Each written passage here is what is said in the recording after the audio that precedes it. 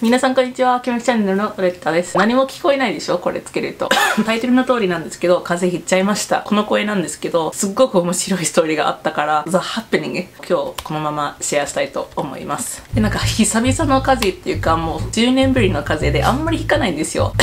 でも日本での初の風邪っていうことなので、前ちょっと咳が出るっていうか、喉が痛いとか、それぐらいはあったんだけど、今回はそれよりも全然ひどかったんですよ。友達の Taylor、Taylor B っていう友達にちょっと相談して、もう早く病院行ってくださいよ、Go see a doctor と言われて。で、まあ、そう言われても、なんか本当にどうすればいいかわからなかったからちょっと恥ずかしくて、もう一人、あの、エマっていう友達のチャンネルで、なんか最近、When you get sick in Japan とか、あの、この間投稿した動画を見て、で、なんかそのアプリがあるみたいんですよ。あ、これだ。Japan Hospital Guide っていうアプリがあるんですけどそれはあのとほほぼ東京なんですよ。私は実は東京じゃなくて神奈川県の可愛い住宅街に住んでるからそういう英語であのサービスを提供してる医者さんが全くいないんですよ。でもうどうしようかな。頭痛いよ。何もしたくないんだけど薬を持ってたけど何もならなかったからじゃあちゃんと医者さん行ってみようと決心しました。Google マップスで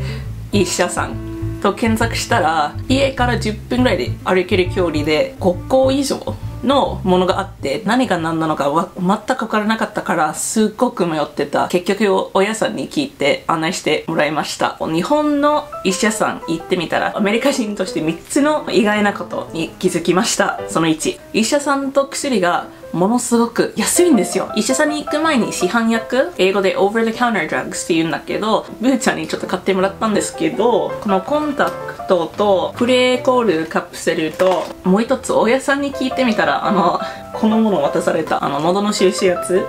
と、どこだ？どこだニトリロッチ？ニトリロッチ？喉、喉ニトロッチ？喉のあれ。喉のあれ。飲む？噛む？とりあえず食べるやつもう買ったんだけどそれ合計でもう3000この2個だけが3000円でプラスこのニトリロッチこのゴキブリのやつとこの収集スプレー絶対に5000円ぐらいするでしょ？これは。あの本当の医者さん行ってみたらそれよりも全然安かったんですよ。医者さん代が1200円ぐらいでで薬が670円。670円。でもらったのはこれです。Alright, so so many pills. They give me this whole chart that explains like which one does which and etc etc. 水出しやすくする薬痛みと熱を抑えたりする薬 咳を止めるやつ？咳、えー、エンティバイオティクスサワイっていうやつ？この1週間ぐらいの分なんですけどそれを全部670円でもらえるなんてなんでもっと早く行かなかったのって思うぐらいでコスパがすごいんですよ。カスタマーの負担額なんですけどにすると本当の合計はその3倍なんですけど留学生として保険に入るなんてそれすごいんですよ。そう言われたんだけどでもやっぱりそうですよ。アメリカの場合だとそんな安く簡単にあのいい保険をもらえない。第2あの更新期の膠着？Oral fixations Americans have an oral fixation と思いました。ってことは何もかもを口でする。アメリカ人は。ちゃんと説明します。体温計持ってないけど分からなかったけどとりあえず熱ある。と気づいてじゃあ測ってください。と体温計渡されて渡されてその瞬間にヒュッと口の中の下の下に入れちゃった。口に？と言われて周りの人も「え？口にするの?」驚いたみたいなんですけどそうそうそうですよ。他に何があるの？ひょっとしてその？そこなの？いやもうギブアップ。これはもう無理。ギブアップ。とはっきり親さんに言ったんだけどそこじゃなくて脇ですよ。そっかそんな簡単なもの。なんかアメリカの場合は口なんだけど皆の国はどうですか？どこね？どどこに入れますか？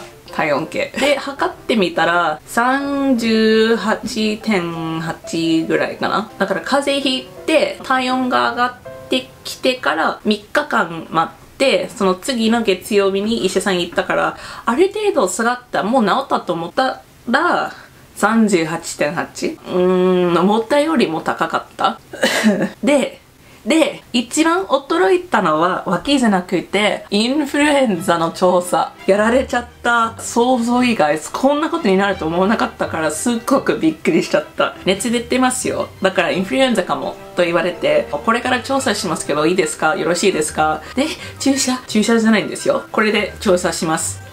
で出したのはこのふわふわのやつこの3倍ぐらいの長さのやつを出してこれで調査します。でも注射じゃなくてよかったね。全然いいんですよ。どうぞ。あーん。すいません。ロレッタさん。口じゃなくて。鼻ですよ。ここカバーして何をするんだろう。でこうやってシュッと鼻の中に入れちゃって。なんか、うん、気持ち悪い。何、何これ。鼻水調査するんだ。前から気づかなかったけど、看護者が後ろから寄ってきて、リラックス、リラックス。な、な、な、何をするんですか？入れときましたけど、もうギュッと入れて、で、え、なんか痛いんですよ。でも、ギュッと最後の奥の方まで、奥の方まで入れちゃった。痛いんですよ。この辺がもう痛いんですよ。触らないでほしい。っていううちに、そのグリグリのやつがやってくるんですよ。何も心の準備とかできてないから、奥の方まで触ったらもうすごく痛くて、反射的にピュッとピンタしようとしてるみたいに、あの、自分で勝手に出したんですよ。石田さんが、あ、はい、じゃあ、調査は終了です言われていきなり終わったんだけど、いや、な、何が目的？別に鼻水を目指してるなら、この辺にもう出てるんですよ。別に多くまで行かなくていいんじゃない？鼻を調査してるんじゃなくて、脳自体を調査してるみたいな感じで、何を取ってんの？脳を取ったりして、ミラのようにする。私はこれからどうなるの？え、何を取ったの？今。まあ、ショックでした。本当に。アメリカで風邪ひいた時は、ほっぺの中をこうやってヒュッと取るんだけど、思い出した。ほっぺじゃなくて一番奥の方ですよね。あの、その、こうやって踊ってるやつをこうやってシュッとやった記憶もあります。まあ、とりあえず、鼻じゃなくて口の中調査された経験もあります。あの、うちのママが医者さんじゃないんだけど、色、色とか詳しい人なんだけど、あの、お兄ちゃんも医者さんだから、その二人にちょっと聞いてみて、口と鼻の奥のこの辺、脳の下、すぐ下のところを調査するのが一番はっきりわかるから、そこを調査するみたいんですよ。でも信じられない。ネットの写真も見たらひどいんですよ。鼻クリクリ調査、インフルエンザ調査調べたらなんか写真もすごくひどいんですよ。ちょっと書いたら、ブーちゃんに言ったら、こんなことあったんですよって言ったら、私絶対に医者行かないよとか、絶対移さないでね、そんなグリグリいらないからもう、こっち来ないで、近づかないでとか言われて、Nope. Come and get it. Never. I got something for your nose, bro.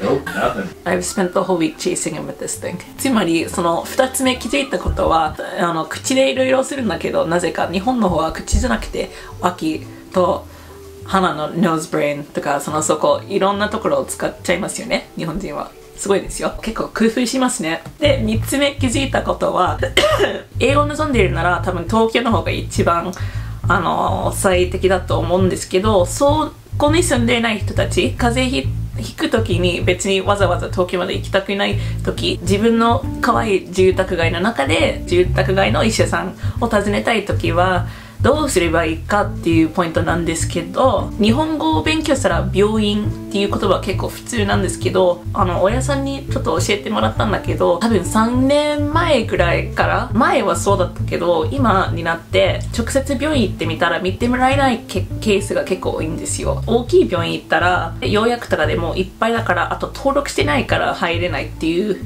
いろんなわけで入られないっていうのがもったいないから病院っていう言葉はちょっと去っておいて今日の日本語の勉強の言葉の一つとしてかかりつけかかりつけ医ホームドクターみたいな感じなんですけど近くにいる相談できる自分のことを全部分かってくれるあの優しい医者さんだから病院を検索するのじゃなくて一番いいのは医院っていうことですよ医者の医プラス院病院の院ですよねだからそこ行ったらもっとなんか大きい病院よりも小さいクリニックみたいな感じなんですけど Don't go to a hospital、um, you want to go to a clinic or what's probably called an EAN which is something that I learned this time ひどい病気とかひどい風邪だったらあのそのかかりつけ医が見て相談に乗ってじゃあ次にこの病院に行ってくださいと招待状みたいなやつを出してくれるんだけど、それを持って病院に行くっていう制度になってる今。東京だったらこの Japan Hospital っていうアプリでいろいろ英語でサービスを提供する医者さんを簡単にすぐ検索できるなんですけど、自分の母語ではない日本語で医者さんを訪ねるっていうのが怖いかもしれないんですけど、まあ、さっきのグリグリ忘れ忘れてね今回は親さん優しい親さんが言ってくれたのでなんとか治ったんだすごい薬の量ももらったから 元気になると思うんですけど今日はその3つのことを伝えたかったのです。で皆さんどうですか？海外で医者さんを訪ねたことありますか？どんな経験ありましたか？あとあの日本とアメリカ以外の国に住んでる人はどこで体温計入れますか？これで終わりこれで終わる。うん。今日の風の話は以上です。これからゆっくりと休みます。でも今日もご視聴ありがとうございました。Thanks for watching to the end and I'll see you healthier in my next video. では、またねバイバーイ